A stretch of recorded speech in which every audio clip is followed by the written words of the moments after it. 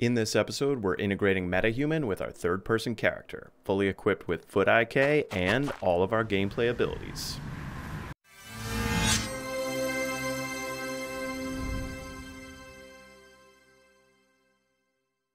Hey guys, today we're integrating a metahuman directly onto the UE5 mannequin third person character. This tutorial comes straight out of Unreal Engine's official documentation, so if something isn't working right based on this episode, most likely that means something changed with metahuman. So I encourage you to check out the official documentation, which I've got linked in the description below. But the reason we're doing this at this particular point in this series is that we're about to pivot and focus directly on AI. And you've heard me say in previous episodes that our current goal is to get a gameplay prototype up and running. And so that means we need an AI character, specifically an opponent that we could play against. So in this episode, instead of mapping directly to our third person character blueprint, we're actually going to create a child blueprint class of that blueprint, and we're going to map the metahuman character to that. But regardless, you could follow this exact same process to map directly to third person character and it'll work just fine. But if you're following this series, the metahuman character that you choose, that's going to become our adversary. Adversary, opponent, evil twin, take your pick. But when I was conceptualizing who the adversary would be in this gameplay prototype, the answer was clear. The greatest adversary, it's always yourself. So here are the key concepts for this episode. All of these revolve around two things. Retargeting our metahuman skeleton back to our third person character mannequin skeleton. And then the second part of this is how do we optimize the look and feel of that metahuman character? So let's get to it.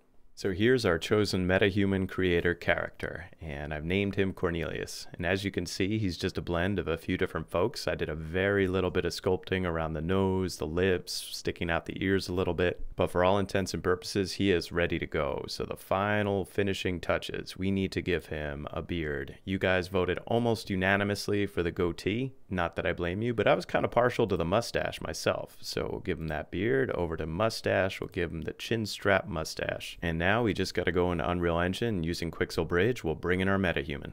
So for this, I actually recommend creating a brand new level just for bringing in the metahuman because even for my RTX 3080 Ti, it's pretty performance intensive. So to do that, we're gonna go to File, New Level, and I'm just gonna do a basic level here. All right, so we're ready to bring in our metahuman. So I'll go right up to Quixel Bridge, and then from within Bridge, make sure you log in, and then you go to your metahumans over here on the left and I'm just going to navigate over to my metahumans. And then we'll go ahead and select Cornelius here and not highest quality. I strongly recommend not doing the highest quality. I'd only use that for cinematics. And you could try medium quality if you have a beast of a machine, but actually I recommend we're going to stick with low quality because remember, we're just using this character for testing purposes. And even at low quality, metahumans overall quality for a character is quite high. So we're going to stick with low quality. And then we add and we're going to get this importing common assets, importing all this stuff. This is going to take a little while, and this is the performance intensive stuff that I was talking about. The other thing you'll see are a bunch of warnings on the right hand side. You're going to need to enable missing when those pop up and then restart the engine. Now when you restart, you see that it's still preparing shaders and you might want to consider getting into a blank level again just to let it load those shaders because a couple of times my GPU crashed. I think with the MetaHuman as low quality, there's a lower likelihood of that happening, but it still could happen. So I'll just go into a basic level that we're not going to save. So once we're done loading shaders, then we can go back to our content drawer and you'll find your MetaHuman under the MetaHumans folder here. And we've got a common folder that's universal to all MetaHumans, and then we have Cornelius. And I'm just gonna pop into my Cornelius blueprint here. And if you see in the viewport, you got your metahuman right here. And then when you zoom out, his hair disappears, totally normal. You're ready to go for this next part. And for this next part, I am literally going step by step through the runtime animation retargeting. And if you're unfamiliar with the term retargeting, so retargeting is the process of reusing animations between characters that use the same skeleton assets, but may have different proportions, but use a different skeleton asset, but it shares a similar bone hierarchy. And that's what allows us to retarget between the metahuman skeleton and our third person character Manny skeleton. And specifically, the reason we're doing runtime animation retargeting is that's what allows us to keep our IK set up in our anim graph. And that's this piece right here. The tutorial uses IK rig leg placement functionality and your animated metahuman's legs will conform dynamically to the terrain. So like I said on the intro, if anything we're about to do does not work for you, please consult this specific documentation because it might have updated because metahuman's fairly new still. So the first thing we're going to do, I'm going to exit out of this. We're going to go back to our content drawer. I'm going to go back to our content folder core. And this is where I've got my third person character. So just navigate to whatever folder has your third person character. Because what we're going to do is we're going to create a child blueprint class of this third person character. Now, if you just want to substitute the metahuman directly for your third person character, you could just follow along right on your third person character blueprint. But even if you do that, I suggest creating a backup of this blueprint just so that you have a pristine copy in case the metahuman messes up anything. But here's what we're going to do. So I'm going to right click, we're going to do a new blueprint class, and I can search for the parent class of third person character. So BP third person character at the bottom. So I select that, select, and I'm going to rename this BP adversary AI character. So let's double click into that. And so now let's go back to our content drawer, back to content, back to metahumans, and into our character. We'll open up this too. I shouldn't have told you to close it. And then over to the viewport tab. So the first thing we got to do is we got to select everything under our root component here, everything from body down to beard. So I'm just going to hold shift, select, it's going to select everything, right click, copy, and then we're going to go back to our adversary AI character and then underneath mesh. So I'm going to right click and paste. And actually, even if you select the mesh, it's probably going to do it just like this, just like it did for me. But now I can select all those and drag them over to the mesh. And when you do that, all of them become wildly disorganized and our pants and our arms are floating way up there. So first, let's reorganize our hierarchy here and then we'll straighten all this out. So we got to put our legs under our body. We got to put our torso under our body. So I got to scroll down a little bit. Torso under the body, face also under the body, feet are under the body. And then all of our hair assets here are all under the face. So I'll drag that to face, drag to face, drag to face. You get the idea. So it doesn't matter what order these components are listed as long as you've got the right hierarchy here. So then we're going to select the body, torso, legs, face, and feet. And then over here on the right for location and rotation, I'm going to change these all to zero. And you could just reset with the arrows on the right like I did. And then we see our character, he's kind of sitting right where our third person mannequin is. So for the next step, we got to select our body component here. And then for our skeletal mesh that's listed under the body, we have to navigate to it via the folder here. And then with this open, this is our skeletal mesh asset. So we can right click, we can create, we're going to create a new animation blueprint. And I'm going to call it very similar. So it's going to be ABP underscore adversary AI character.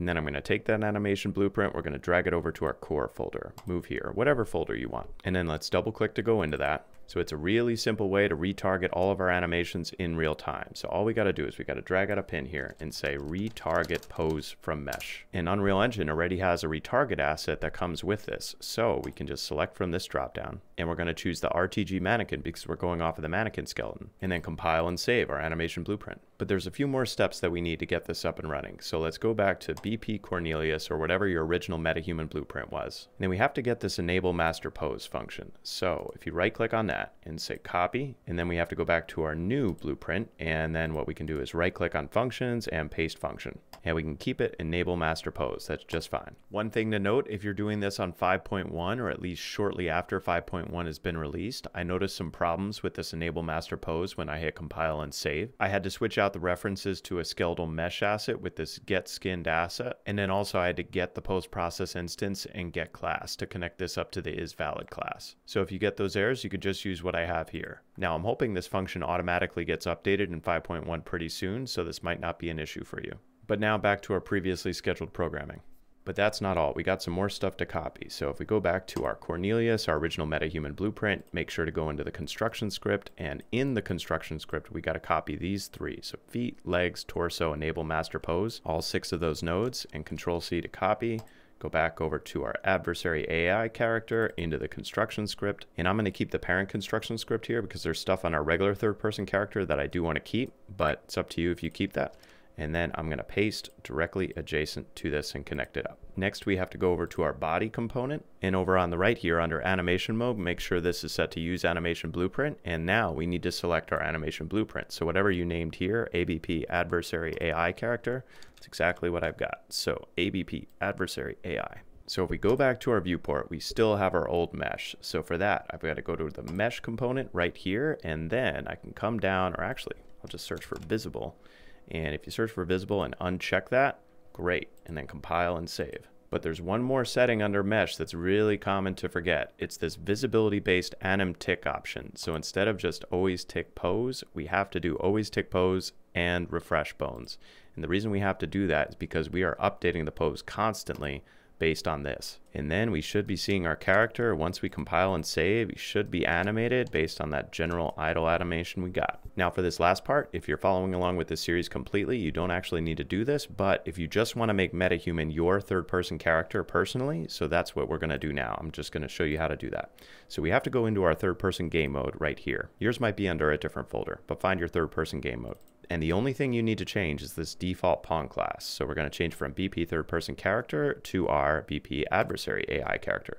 So I could actually play as the adversary character, compile and save. So I'll minimize this, we'll hit play, and we've got our guy with all animations. Now his hair is doing funky stuff, but let's address that next. The other thing I'm just going to test right now is we're going to go back to our original level because I want to test, make sure all of our different gameplay abilities still work with this brand new character. So I'll go into third person, into maps, third person map. Now the one thing I want to make clear is there's still plenty of stuff that we need to update on this character to really make him a playable character, but we're going to do that in subsequent episodes. But let's just test it out, make sure all the basics work right now. Alright, so you can pick up all the abilities. Let's test the air boost. Yep, he's got pretty much everything there. He's still taking damage. So far, so good. He looks kind of scary from far away, huh? So let's adjust the hair and the LODs a little bit. So now what I'm going to do, just so we can experiment with the LODs and the hair in real time, I'm just going to drag our character into the world. And what I realize is we're going to get all the cameras and all that set up, and we probably don't want all that. So just for hair, just for aesthetic stuff, we're going to take our metahuman from our original folder, this guy right here, drag it into the world, because all the settings for hair, they're going to work the same way. So there's really two things here that I want to fix. So the first is that his hair just disappears when zooming out, because what's happening is the hair's trying to switch over to hair cards, and we don't currently have hair cards for our character. So for this, we got to navigate back to our content drawer, and we specifically have to go into the male hair or female hair if you have a female character and then from there into the hair folder. And then we have to modify our groom asset. So in my case, it's this hair S messy. It might be named something different for you. So we'll go into that. And then we can see our hair up close and personal. Now, if I start zooming out, my hair disappears. And the reason for that is if we go to our LODs here, most of the LODs are not active. So LOD2, not visible, LOD3, etc. Now, the way most hair assets work, especially in AAA games, you have these strands really up close, then it moves to what's called cards, and then finally it uses a mesh all the way at the end. So luckily, metahumans come with the mesh automatically, and of course they come with the strand hair, but what they don't come with is the cards. So a really easy fix for this, but this is performance intensive, is that we can just change each of our LODs that are using cards, we can change those over to strands, and then the strands will show at a further distance. But that is performance intensive, like I said, because the strands obviously are most detailed. And then once we change that, we'll make it visible. I'm going to do that for the other LODs as well. So this will change the strands, mark it visible, and keep going down the list. But when we get to meshes, so it does come with a mesh, and that's basically like a skull cap of hair around our player's head. Really, we should only be seeing that at a very far distance. And you could see that with the screen size here. When the hair is literally 3% of the screen, tiny, then it's a skull cap mesh. So I'm just going to mark that visible. Same thing with this one. Same thing with this one. And so now when I zoom out, I should keep seeing our hair into the distance. You'll see a transformation occur when I go pretty far away. You'll see it just kind of change, but that's when it's changing over to a mesh. So let's save that and then let's go ahead and test with our character. So we can get up really close, see the hair up close and personal. Yep, looks good. Zoom out, zoom out, zoom out, zoom out, zoom out. Somewhere along the line it switches over to mesh hair. We don't even notice it because it's so far away. Looking good. And the same thing with the goatee, right? So I noticed that the goatee just disappears. His mustache sticks around. I don't know what it is about mustaches. They just stick around. So if we go to the content drawer, go into the goatee, same kind of thing here. So we got to go over to LODs, switch visible and over to strands. Same thing for the next one, strands. And then finally we keep it at mesh and that's fine. Same thing there. Just make sure every LOD is set to visible. Save that. And then we can zoom out. We don't notice his goatee disappearing. Looks pretty good to me.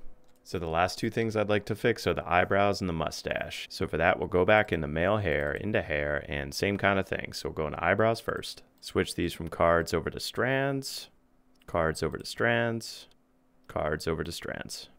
Save that. And over to eyelashes, mark it visible, over to strands, visible over to strands, visible over to strands. And also make it visible for the meshes here. Check, check, and check. Save that. And now when we play, when I'm up close, it's strands. When I zoom out, still there. The very last thing to get all of our pieces working together properly, let's go over to BP Cornelius or BP whatever your MetaHuman character is, and we have to copy the LOD sync component. So right click, copy, and go over to our BP adversary AI character and all the way at the top, right click, paste. And once that's in, just compile and save. And what that's gonna do is it's just gonna sync up all of our components here to use the same LOD.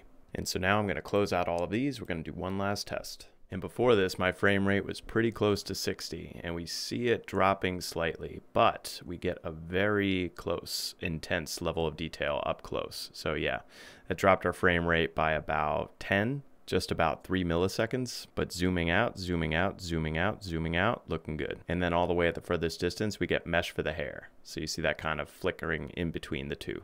So that wraps up our episode for today, but we're going to keep our metahuman as our third person character for at least one more episode, and it's because I want to work on metahuman facial animations. So I hope to see you there in the next episode.